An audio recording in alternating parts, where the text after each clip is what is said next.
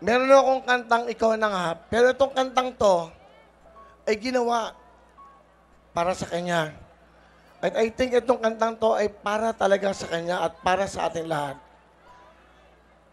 Sana makikanta kayo sa akin.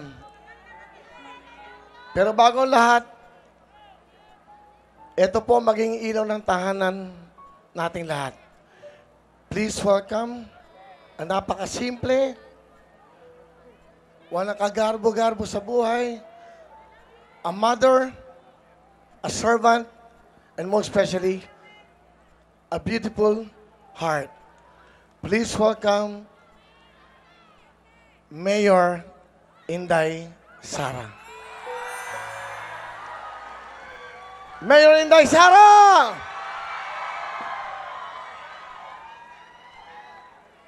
Mayor, po ka muna.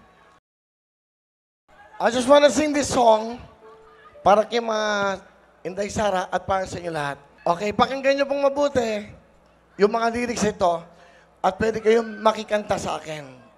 Ito po ang regalo ko kay Mayora Inday Sara Duterte.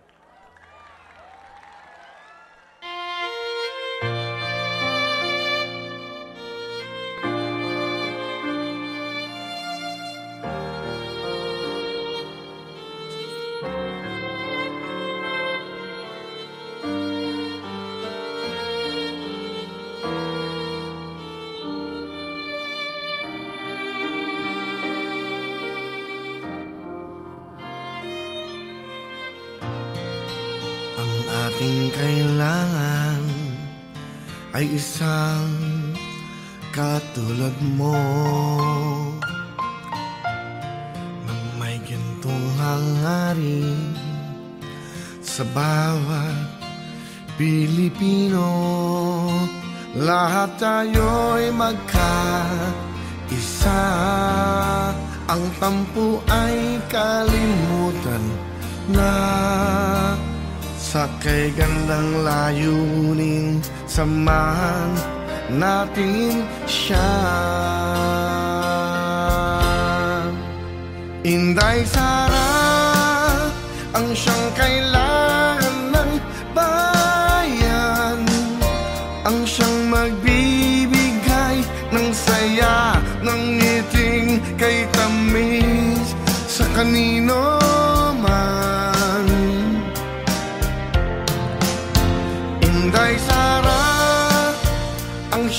siyang ilaw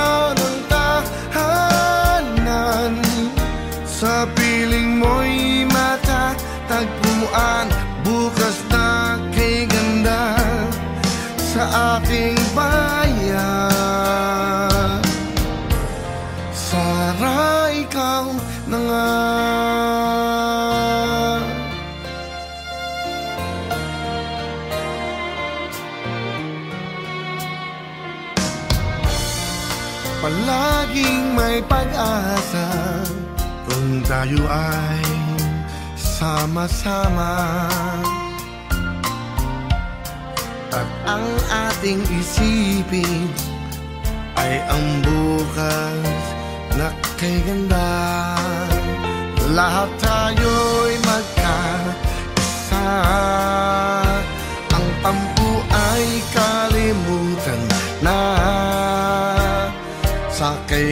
gandang layunin. Samahan natin siya. Inday Sara Ang siyang kailangan ng bayan. Ang siyang magbibigay ng saya Ng iting kay tamis sa kanino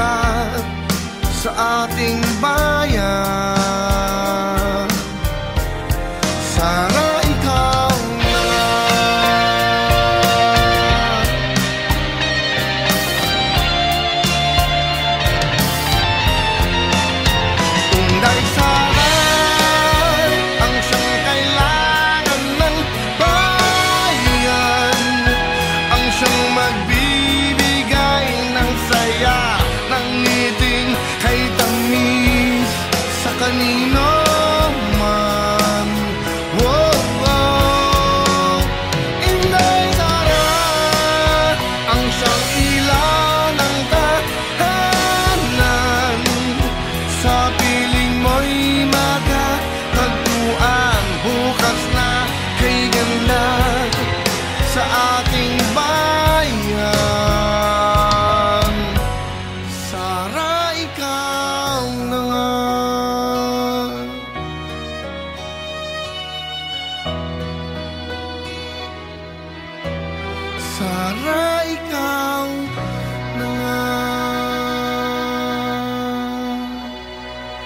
Mga kababayan, Inday Sara Duterte!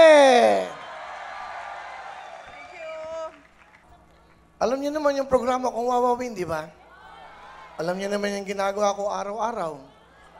Tumatawag sa inyo, nagbibigay na kahit na anong ka, kaabot na kayang tulong. Salamat, okay. Si Inday Sara, alam niyo, nag-usap kami. Sabi niya, ipagpatuloy mo yung ginagawa mo sa pagtulong. Hindi man natin sila nakikita sa pagtawag mo, pambili ng bigas, pambili ng gamot, pambili ng mga kailangan. Ituloy natin yan, Willie. Okay. Sana ho, dumating ang panahon sa bawat bahay, sa bawat tahanan, ang lagi niyo sinasabi at salamat, merong Sara Duterte. Diba? Magiging tulay ako ng bawat Pilipinong nangangailangan ng tulong. Alam niyo naman, hindi ako tumakbong senador, kahit na kinausap ako ng mahal na Pangulo, hindi ako tumakbo na kahit anong posisyon. Alam niyo bakit? Para walang bahid na kahit na anong may masasabi sa akin. Kahit na anong gawin ko, po pwede.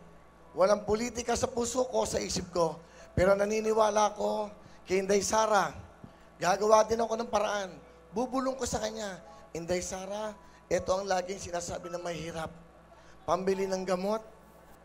Sana makapag-aral ang anak namin. Pangkain. Pambili ng bigas. Itong pangangailangan ng mahirap. Marami ng batas na ginawa ang Senado. Marami ng ginawang batas, pero ang batas ng tiyan ng bawat Pilipino, ang batas ng pangangailangan ng bawat Pilipino, yun ang kailangan na dapat nating gawin. Batas ng tiyan, ng pag-iisip. Paano ka na ang isang basurero? Paano na maging anak niya? Paano na kung nangangarap siya maging ininyero, maging doktor, o maging anuman? Kung walang pera, kung walang pang-aral, paano? Yan ang ilalapit natin sa mahal nating magiging ilaw ng tahanan. Walang iba kundi, of course, Inday Sara Duterte. Ma, maraming salamat. Thank you for Thank you. inviting me. Sama, halika Sam. Ito na yung kasama ko, si Sam Bersosa. Kasama nun to. Kasama ko si Sam sa tutuktuin. Ito po kasi yung hangal namin. Halika. Inday Sara. Inday Sara, ito po yung aming party list. Rosini, halika. Ito rin, tinutuloy din niya. Tinutuloy din niya yung pagtulong kahit wala na ako sa TV, Facebook, YouTube, nandiyan pa rin. Sa lunes, tatawag pa rin ako alas 5 hanggang alas 6.30. Basta Ma'am Sara, kung ano matutulong namin sa iyo, kung ano matutulong ko, kung kailangan mo ko, walang kabayaran, wala. Ang gusto ko lang, ang ngiti ng mga labi ng ating mga kababayan. Hindi ko na iboboto, hindi ko na sabi boto. Iligay nyo sa isip at sa puso nyo. Isa lang ang maging ilaw ng tahanan. Sa puso nyo, Sara Duterte. Si Sam mo po, kasama ko sa tutuktuin. Sam, bumati ka sa kanila. Maayong gabi po sa inyong tanan, Cebu.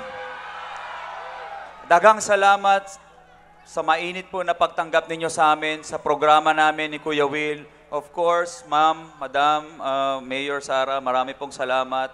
Uh, kayo po yung inspirasyon namin ni Kuya Will. Kami po, ang hangad lang namin sa programa namin eh, pagpatuloy po yung ginagawa naming programa sa Tutok Tuwin na pagtulong Luzon, Visayas, Mindanao. Wala po kaming ibang gagawin, kundi puro kabutihan. Yan po yung sabi sa akin ni Kuya Will, Sam, kasi sabi ko, Kuya, ano bang gagawin natin dito? Isa lang sasabihin mo, Sam, wala tayong ibang gagawin, kundi puro kabutihan. Ngayong gabi po, nakita ko po yung mga ngiti at saya sa inyong mga muka. Yan lang po ang gusto naming makita, ipagpatuloy at gusto naming tutukan. Tututukan po natin ang inyong mga pangangailangan at ang inyong kinabukasan. Yan po ang Tutok Tuwin Party List. Maraming maraming salamat. Daghang salamat sa inyong tanan Cebu. Maraming salamat po. Yung lahat kayo, nagtsaga kayo dito, kailangan yung disiplina. Meron kami mga jacket, isa-isa. Pagbigay, uwi. Isa-isa. Pagbigay, uwi. Ginawa yan para sa inyo. Ayoko umuwi kayo, na napagod kayo, nandyan kayo, ilang oras na. Ito yung ginawa para sa inyo. Ma'am Sara, baka meron kang gustong sabihin sa akin, sa amin. Nagapasalamat ko sa inyong hanga sa inyong hanga pag-imbita sa amo adinhi o ga sa inyong hang kaayo sa mga tiga Cebu. Kasabot ba ka ni siya no?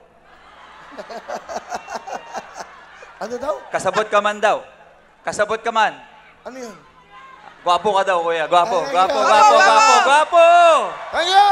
Thank you! Basta lahat bibigyan. Gusto ko din pasalamatan si Mayor. Si Mayor of course, Prasco. Congressman Prasco. Opo. M- Mayor Christine, no? Tama? Ma'am. Christine. Okay. Binabasa ko yung ano, Binabasa, kunin bi- mo ako. Okay. Asa yung binabasa? Sign. Ayun. Kunin mo ako. Kunin mo ako. Kunin? Hindi. Ano ba yan? Kunin mo ako. Kunin? Ano ka? Kunin mo ako? Ikaw? Ah. Kukunin kita? Okay. But anyway, yun lang. Ma'am, isang lapit lang sa kanila para makita tayo. Ayan. Ang ilaw ng tahanan, Inday Sara Duterte! Inday Sara ang siyang kailangan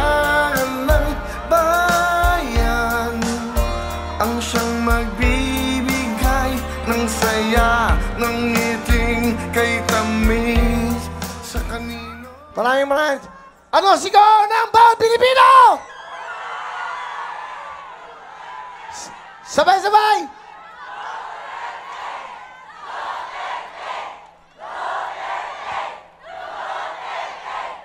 Ang ilaw ng tanang Inday Sara Duterte! Inday Sara ang siyang